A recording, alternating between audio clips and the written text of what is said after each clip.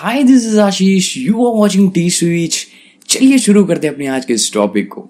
सो so, आज के इस टॉपिक में मैं आपको एक फॉर्मूले से रूबरू कराऊँगा. एक ऐसा फॉर्मूला जो आपकी डुप्लीकेट लिस्ट में से सिर्फ़ और सिर्फ़ यूनिक नेम ही लेगा.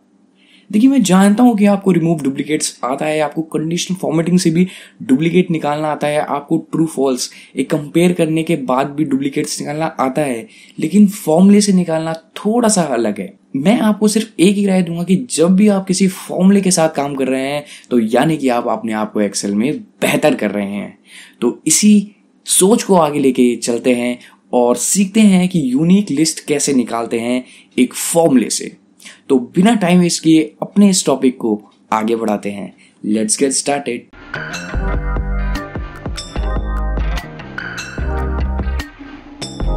तो जैसा कि आप अभी मेरा डेटा देख पा रहे हैं, यहाँ पे सीरियल नंबर लिखे हुए हैं और यहाँ पे नेम लिखे हुए हैं और यहाँ पे सिटी लिखी हुई है कुछ एम्प्लॉयज़ की।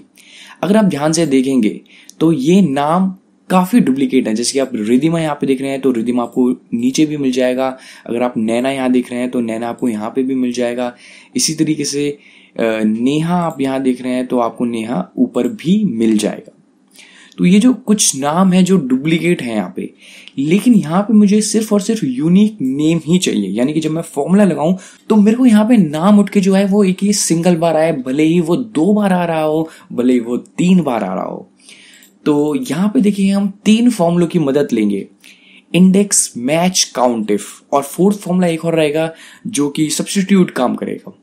इंडेक्स से हमारी वैल्यू आएगी मैच से हमारी पोजीशन आएगी, और काउंटिफ से वो काउंट करेगा कि वो कितनी बार आ रहा है हमारी पर्टिकुलर रेंज में ओके तो चलिए शुरुआत करते हैं अपने फॉर्मूले की। और देखिए, ये फॉर्मूला में जब एक बार पूरा लिख दूँगा आंसर आ जाएगा, उसके बाद मैं डीप में जाऊँगा कि जो अंदर अंदर फॉर्मूले हैं वो किस तरीके से काम कर रहे हैं और किस तरीके से हमारा आंसर आ रहा है ओके तो चलिए मैं फॉर्मूले का सिंटेक्स लिख लेता हूँ। तो सबसे पहले index equal to I N D X index bracket open okay तो देखिए इंडेक्स में अरे में क्या होता है कि जो रेंज में से हमें डेटा निकालना है है ना?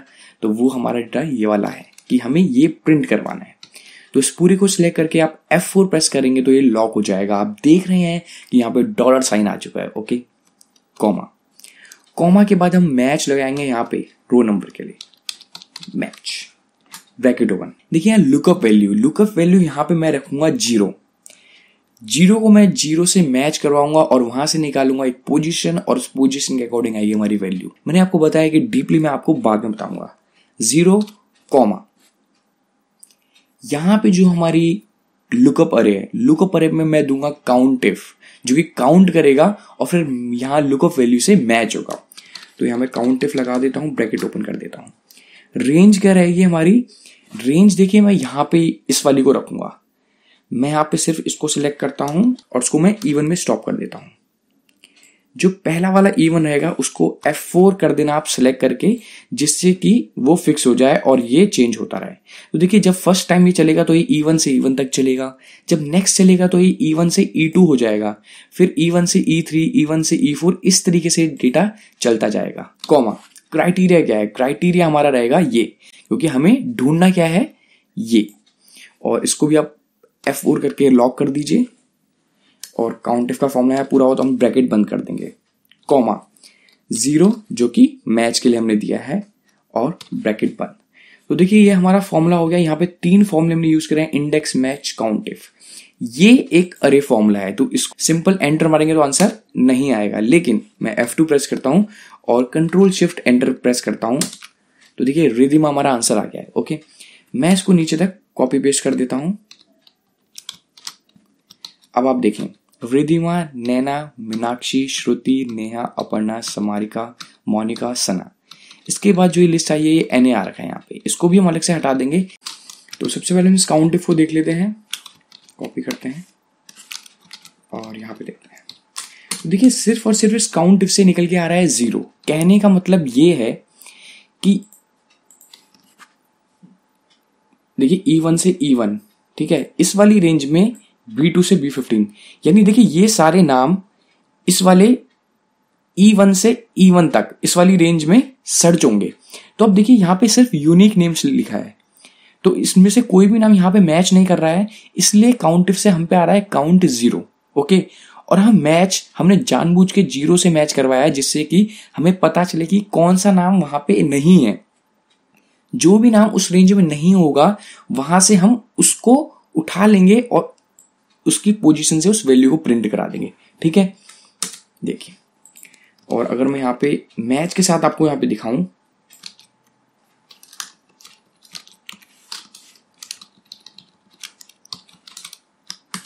तो देखिए वन हुआ क्या कि जब यहाँ से हम पे ज़ीरो निकल के आया तो उसने इस वाले ज़ीरो से उसको मैच करा। और जब इसने उसको मैच करा तो अब इस वाली अगर हम रेंज में देखें तो वो कौन से नंबर पे है? जो पहला ही ज़ीरो है, अगर आप इसको F9 करके प्रेस करके देखेंगे तो पहला ज़ीरो आएगा और उसके बाद भी सारे ज़ीरो आएँगे। तो जो पहला ज़ीरो आ रहा है, वो फ़र्स्ट पोजीशन में है। तो मैथ से हमारा जो आया, वो पहला नंबर आया था है ना? ये फ़र्स्ट आया था। तो फ़र्स्ट को इंडेक्स ने देखा कि फ़र्स्ट पोजीशन में कौन सी वैल्यू है, वो थी रिदिमा तो इसलिए यहाँ पे हमारा रिदिमा प्रिंट होके आ गया था। इसी तरीके से अगर आप देखें चलिए हम इसको देखते हैं। सेकंड वाली को ओके मैं इसको देखता हूँ और यहाँ पे इक्वल टू करके देखता हूँ। तो देखिए यहाँ पे सेकंड आया है। इसने यहाँ पे सेकंड देखा कि सेकंड भी मैच नहीं हो रही है। जब सेकंड भी मैच नहीं हुई तो उसने फिर दोबारा इसको ज़ीरो से मैच करा। तो फिर इसने देखा कि पोजीशन कौन सी थी? ये पोजीशन इस लिस्ट में सेकंड थी, है ना? तो देखिए यहाँ पे क्या हो रहा है कि ये बार बार एक बारी में सारे उसको मैच करेगा। तो देखिए जहाँ पे भी ये इसका अगर इसको इस लिस्ट में नाम मिलेगा तो वहाँ पे वन वन देता रहेगा। जहाँ पे नहीं मिलेगा, वहाँ पे ज़ीरो आएगा और उस ज़ीरो को ये इस ज़ीरो से मैच करके उसकी पोजीशन के हिसाब से वहाँ पे वैल्यू प्रिंट करा देगा। जहाँ पे उसे डुप्लीकेट मिलेगा, वहाँ पे पहले अगर वन आया है तो बाद में भी वन आ जाएगा और वो उसको कंसिडर ही नहीं करेगा और वो सीधे स्किप मारेगा आगे। ओके तो इस तरीके से ये काम कर रहा है। मैं इसको नीचे तक प्रिंट कर देता हूँ। तो अब यहाँ पे अगर हम देखें तो यहाँ पे एक प्रॉब्लम आ रही है कि यहाँ पे हमारा आ रहा है एन ए एन ए ये देखिए, यहाँ पे आ रहा है। तो ये तो हो गया ही किस तरीके से फॉर्मूला काम कर रहा है, लेकिन अगर हम नीचे देखें तो यहाँ पे एन ए आ रहा है। क्यों? क्योंकि यहाँ पे लिस्ट पूरी खत्म हो जा रही है, उसके बाद यहाँ पे इनको कुछ नहीं मिल रहा है। ओके तो इसको हटाने हम क्या करेंगे? एफ़ टू प्रेस करेंगे और स्टार्टिंग में आएँगे, यहाँ पे लिख देंगे इफ़ एरर ब्रैकेट ओपन कर देंगे। अब ये इसमें चेक करेगा कि अगर एरर है तो क्या हो? कॉमा देखे हम डबल कोड दे देते हैं। यानी कि ब्लैंक हो जाए। जो एन ए आ रहा है अभी, वो ब्लैंक हो जाएगा अगर एरर होगी तो। और अगर नहीं है तो बाकी हमारा आंसर आएगा। और इसके साथ हम प्रेस करेंगे कंट्रोल शिफ्ट एंटर और उसको नीचे तक पेस्ट कर देते हैं।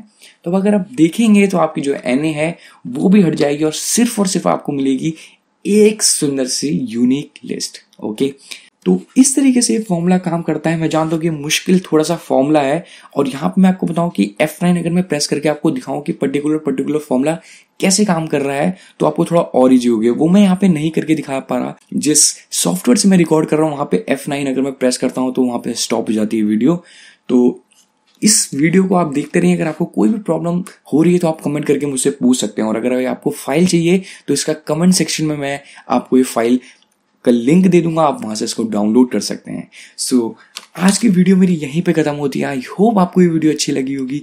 अगर अच्छी लगी है तो भाई कमेंट और लाइक ज़रूर करना और शेयर करना मत भूलना।